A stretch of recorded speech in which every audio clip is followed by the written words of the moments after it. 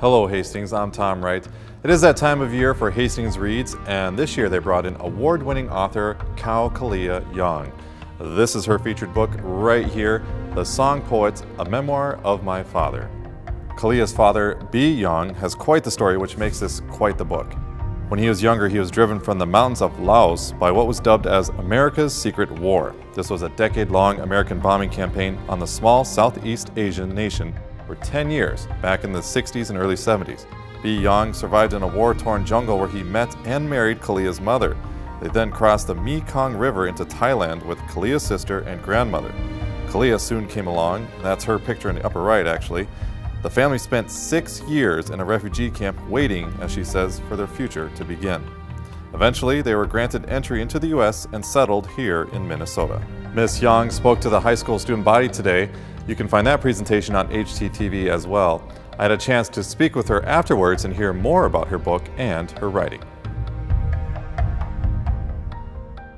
Let's start with the why on why you decided to write this book. Um, tell us a story. When did this, the seed get planted for you? So my first book came out in 2008, and it was 2012. It's been four years. I was doing so much public speaking and so much teaching that there was no time and no brain space to write.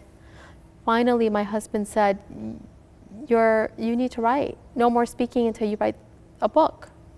And so I've been thinking about the economic depression. That's what I wanted to write about, and the working poor, because that's the people I know and I love. Um, but the book really anchored on my dad and hinged on my dad once he lost his job and he became part of the part of this bigger thing that I was hoping to, to capture anyway.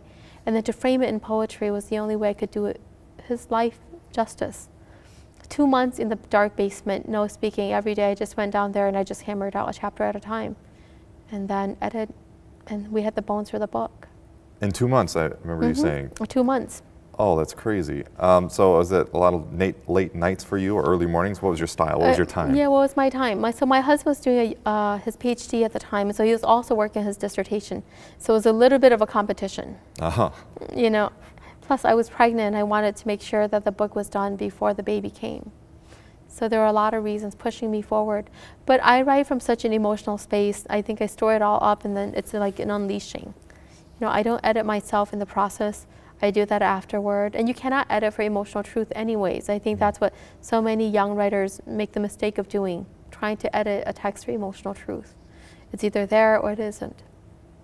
I understand your father would discourage this at first, didn't really want you to write this book. Um, was it, did it take a lot of convincing to, to turn him around? I think he just didn't think anybody would be interested. And it was going to be my second book, and he wanted me to maybe write about something that people would read, about someone that people would be interested in. You know, but for me, my father is full of beautiful language. He's full of stories. He's always gifted them so generously. And so it was my way of paying my respects to his form and also the stories of his life. And then do this other work of portraying the working poor in America, you know, from a Hmong man's perspective. That hadn't been done before.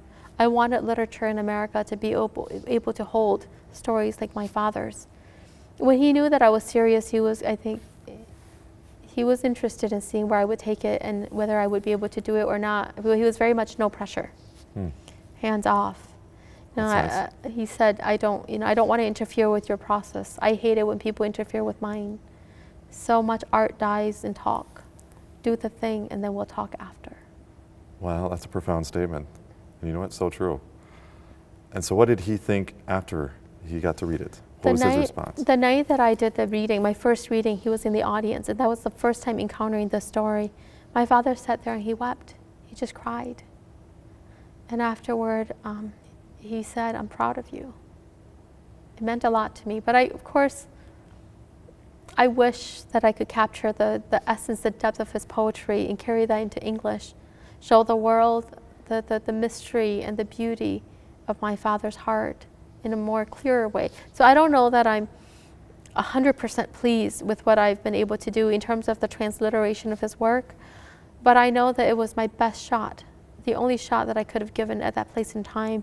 And so in that way, there's no room for regret. I did the best work I knew how to do. And in that way, it's an authentic photo of my father, the most authentic I can process. Well, um, apparently did a good job, and a few people liked your book because it received finalists for the National Book Critics Circle Award and the Minnesota Book Award, selected as one of the best books of the year by the Boston Globe, the Minneapolis Star Tribune, and the Pioneer Press. Were you surprised by that, all that, all the recognition for this? One is always hopeful. Yeah, you know, right. when you write a book, you put everything you are in it, you're always hopeful. And I'm writing for a world that I love. I'm writing for a readership that I believe in. It's good to have some of that love reciprocated. It's good to have some of that heart back. So in that way, it's how you continue the relationship, right? It's what gives a young writer heart to pursue other projects. Let's talk about that, that writing heart of yours and the writing career. How did writing enter your life? Was it something you liked, enjoyed doing when you were a little girl, or did it come later on? I loved stories. I was born in, in, a refugee camp and we didn't have books. I couldn't go to school. The schools were overcrowded. And so I sit in people's laps and they would tell me stories. So all of my life, like the one thing that I've had, I've had an abundance of was stories. You know, when we came to America, that mom and dad started working and so that transitioned to the books. The bookmobile would come to the McDonough Housing Project and my sister would hold my hand and we climbed that hill on Timberlake Road up and, and, and get all the books that we wanted and that we could get our hands on. Even then, and the librarian remembers, the bookmobile librarian remembers, and I remember saying underneath my breath one day, do you have a book about people like me? And she looked and then she found me a book about the Chinese, the Vietnamese, and the Japanese, and she said, I'm sorry. I don't have any books about people like you. And I said, one day there's going to be a book about people like me on these shelves. And she said, one day I did not think then, I was just a kid, that mm-hmm. I would be that writer. But I have become her. You have. Wow.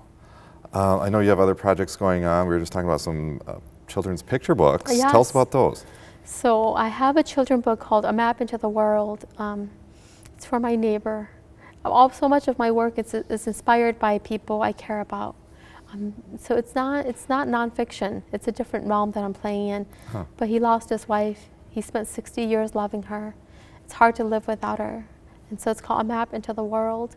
It'll be coming out from Carolrhoda Books in the fall of 2019. I have um, my third substan substantial book of nonfiction, uh, creative nonfiction, will be coming out from Metropolitan Books again in the fall of 2019. It's titled Somewhere in the Unknown World and it's a it's a it's a creative venture where I'm quilting together the stories of like the 12 main refugee groups in Minnesota, and and in that way highlighting, shedding light onto the lives of these of these folk. So I'm excited, and then I'm also I have a book titled If You Give a Boy a Room. I don't know how committed I am to the title yet, but I am uh, in, in negotiations for the publication of that one. I just finished one yesterday called The Most Beautiful Thing, and that's in the hands of my agent. And then I'm working on uh, a chapter book for younger readers uh, called The Diamond Explorer. And then my fictional debut, Descendants of Bad Luck Women. And then I'm also writing with another Minnesota writer, um, Shannon Gibney. We're putting together an anthology on miscarriage and infant loss, and it is, it is called What God is Honored Here. So I have a lot of things you do, yes, I would say so. You have quite the list there. I know. For any uh, aspiring writers out there watching this, uh, what would be your advice to them if they're just getting started? Write, write as much as you can, write wherever you can. You're not going to be able to run the marathons if you have not been working out those muscles. Mm. And so, you know, not every page you write will deserve to be published, but you will have more, more. Um, how do I say? If you give more yourself more options, your odds go up. So you have to write, write those pages, build them up. Maybe one day it's only 277 pages, you know, in that first book, or 280 in that second book. But who's to say that all that, that will never be published, that it doesn't inform who you are as a speaker, who you are in terms of a writer speaking about your work and your body of work. Nothing is wasted. I think young writers don't know that. Nothing is wasted. For those that want to see more of your work or get more information on you, uh, do you have a website? I do. I'm a regular columnist for Krista Tippett's On Being, so you can read new things from me all the time, every month, um, on their site. I have a website, www.kaokaliayang, and you can also find out where my appearances are, as well as news about me. Thank you for all your time and uh, being here in Hastings, and um, I'm very excited to meet you. Thank And you. good luck to you on your future ventures. You have sounds like you have quite a few. A few, yes. Thank you. Thank you. Well, I hope you enjoyed that interview with Hastings Reads author Kao Kalia Yang. Again, for more on her or her books, you can visit her website, which is simply her name, www.kaokaliayang.com. Keep in mind, she also has another award winning book, The Latehomecomer, so that's another one to put on your must read list. I'm Tom Wright. Thank you for joining us. Enjoy the rest of your day and also enjoy this book. I highly recommend it. We'll see you next time.